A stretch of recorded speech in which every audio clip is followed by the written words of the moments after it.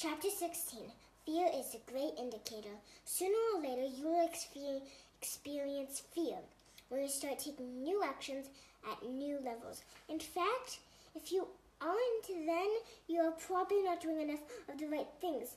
Fear isn't bad or something to avoid. Conversely, it's something you want to seek and embrace. Fear is actually a sign that you are doing what's needed to move in the right direction. What are you reading there, Jolie? I'm reading the 10x book. About what are you reading in it? Fear is the great indicator, chapter 16. How come you're reading this? Um, because I have a fear, and everyone can have a fear. Fear if you need to go, if you're making a client call, if you want to go to sleep. When you want to go to sleep, so this is what helps you. What, what did did- what did your daddy teach you when you when you were reading this? What did they, what did they describe fear to be? Do you remember? Fear is a false event that appears not real. Very true.